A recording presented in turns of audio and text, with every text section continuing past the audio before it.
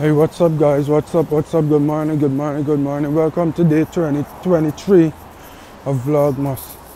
Right now, I'm on my way to the gym. I feel terrible because I barely have had about four hours total sleep last night because I kept twisting and turning and I couldn't relax. I couldn't get to sleep, I mean.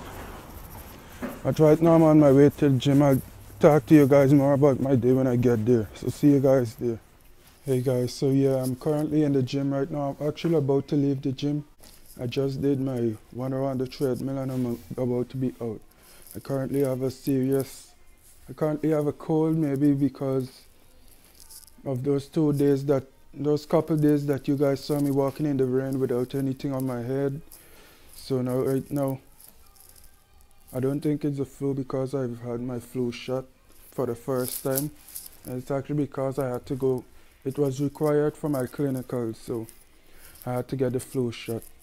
And that's probably why I was tossing and turning all night. I'm coughing up mucus right now. I know this is kind of gross, guys, but sorry. But anyway, on a good note, I'm about to go back to the supermarket right now. I'm about to get some things because I'm going to make some Guyanese themed cooking videos for, for about five different videos I think I'm, I'm going to try to make all of them today and they'll be uploaded as separate vid videos obviously. But anyways, I'm about I'm on my way about to leave the gym right now. I'm go about on my way to the supermarket. So let's go.